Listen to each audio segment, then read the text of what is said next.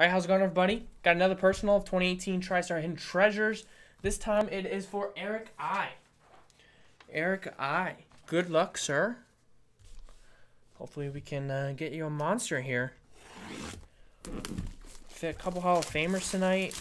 Um, a nice Antonio Brown. So let's see what we got. More than 160 unique autographed jerseys in the run. Where's the seal at? There's the seal.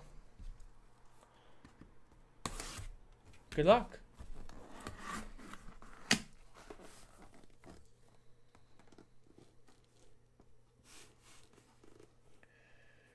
What do we got here? Notre Dame, maybe? St. Louis Rams, maybe? Wow. Nice. Rocket Ismail. Notre Dame National Championship. The Rocket. Look at that autograph. Man. That's one of the biggest autographs I've ever seen. Takes up half the number. Awesome. College Legend. There's the TriStar Authentic. Nice.